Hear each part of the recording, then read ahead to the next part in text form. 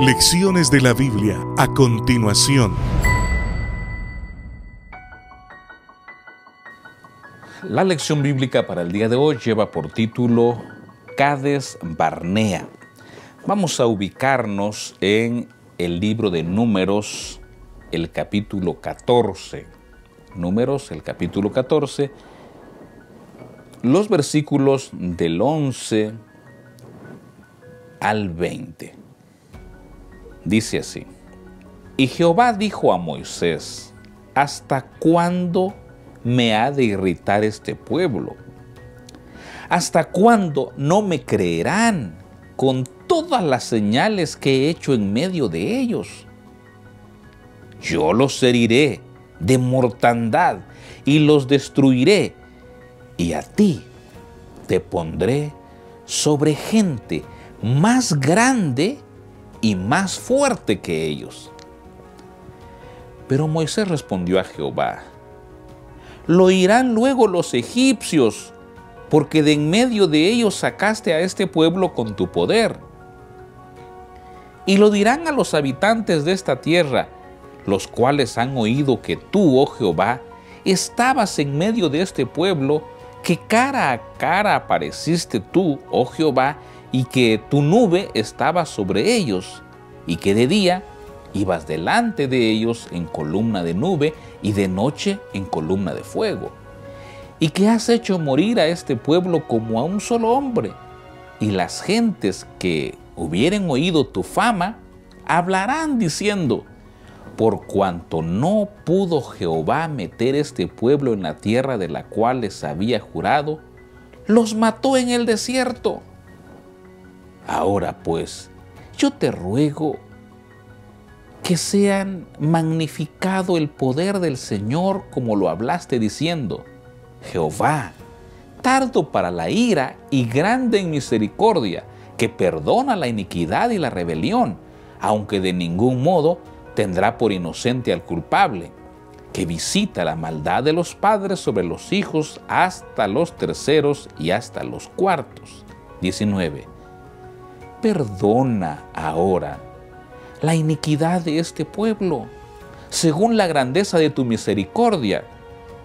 Y como has perdonado a este pueblo desde Egipto hasta aquí. Versículo 20.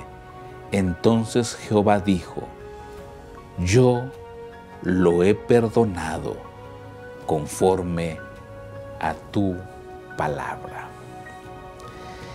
Esta porción bíblica que hemos leído, por supuesto, es muy abarcante.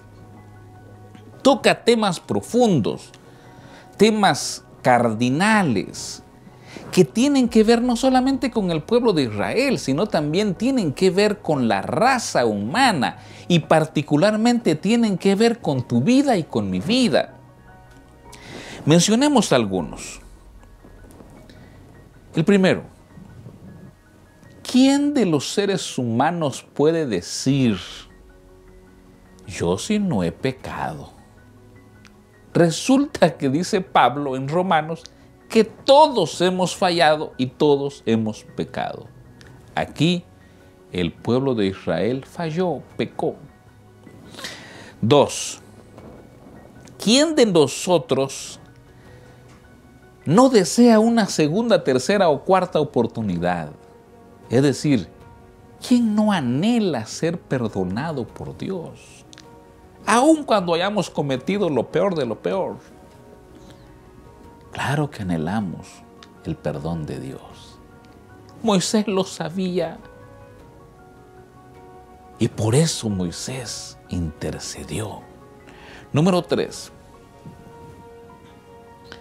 Es fácil a veces condenar la mala conducta de otra persona.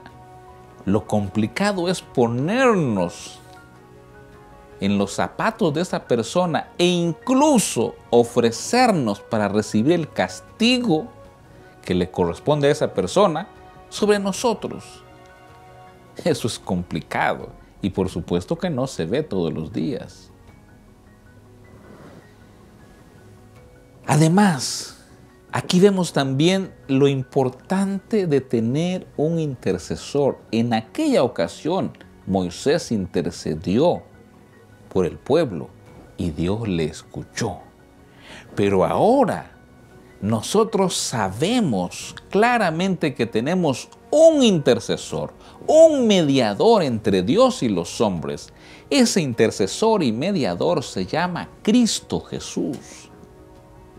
Y cuando Cristo Jesús intercede por tu vida y por mi vida, el Padre también contesta, sea perdonado o sea perdonada conforme a tu dicho, conforme a tu palabra.